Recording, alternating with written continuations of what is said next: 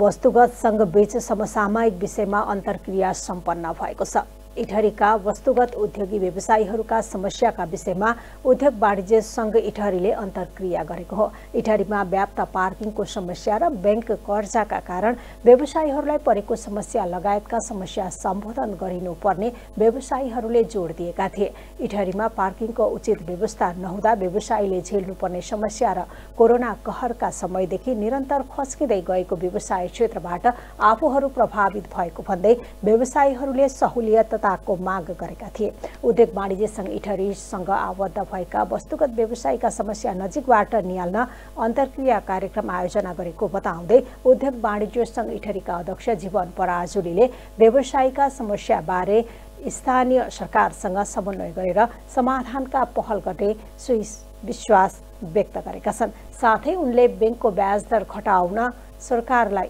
दबाब दिनेदेखि लिएर दोहोरो कर व्यवस्थापनमा समेत आफ्नो भूमिका रहने उनले विश्वास व्यक्त गरेका छन्। बोलाएका थियौँ। अब हामी निर्वाचित भएर गइसकेपछि त्यसपछि अहिले इटरीमा समस्या भएका व्यवसायलाई समस्या भएको र यो सबै विषयमा चाहिँ आज अन्तर्क्रिया गरेर हामी उहाँहरूसँग उहाँका समस्या व्यवसायका समस्याहरूप्रति एकदम नजिकबाट हेर्न चाहनको लागि यो अन्तर्क्रिया कार्यक्रम राखेको थियौँ।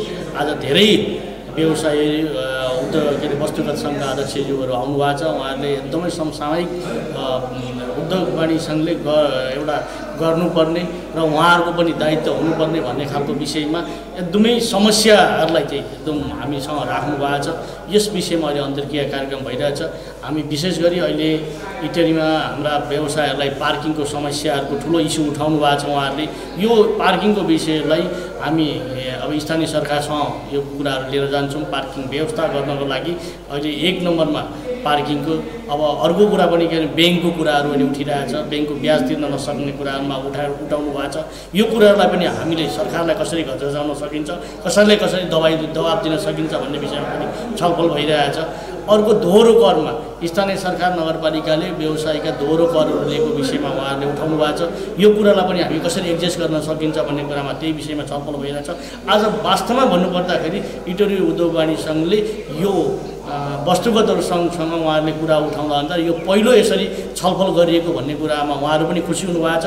हामी काम गर्ने जुन प्रतिनिधिहरू आएको छौँ हामी पनि उहाँहरूप्रति काम गर्नलाई एकदमै खुसी भएका छौँ र उहाँहरूको यो समस्यालाई उद्योग वाणिज्य सङ्घले सम्बोधन गर्छ काम गर्छ यो टिमले गर्छ भन्नको लागि यो आजको अन्तर्क्रिया कार्यक्रम राखेको